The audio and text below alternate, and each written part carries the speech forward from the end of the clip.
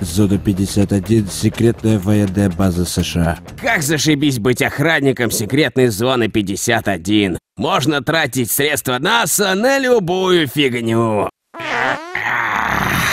Здорово, земеля! То есть землянин. Ну, здорово, гуманоиды. То есть, ебать, настоящие гуманоиды! Ах, хорошо, что я еще не смыл. Где наша тарелка? Какого хрена вы ее спиздили? Не пиздил я никакую тарелку, у меня дома и так триколор стоит. Какие же у тебя все-таки приземленные шуточки, землянин. Отдавай тарелку, иначе...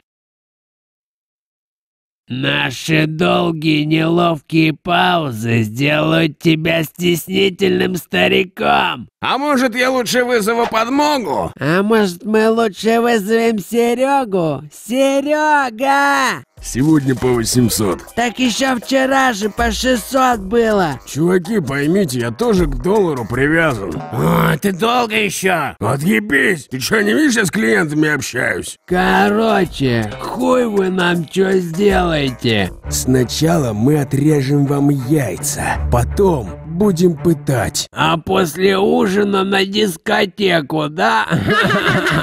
Заткнитесь! Вы будете говорить только, когда вам дадут слово. Вау, прикольно, прям как на свадьбе. Тогда верните нам тарелку и салата туда насыпьте, чтоб было в чем уснуть после танца молодых.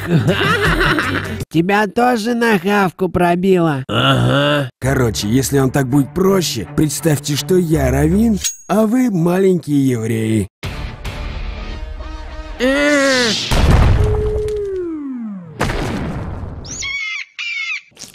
Нет, вали, я же еще не умер.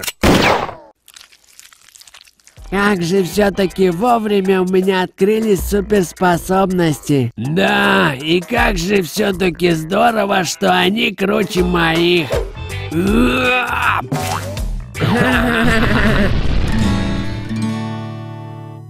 Люди приручили и одомашнили волков еще в каменном веке. После долгой и упорной селекции нам остается только сложный выбор между Биглем и Джек Рассел Терьером. Человек привык считать, что собаки его лучшие друзья. Мы думаем, что с легкостью можем понять собачье настроение. Вот, например, собака виляет хвостом. Прежде чем кидаться целоваться с первым попавшимся псом, приглядитесь. Чем выше хвост, тем больше в этом собачьем жесте агрессии и тревоги.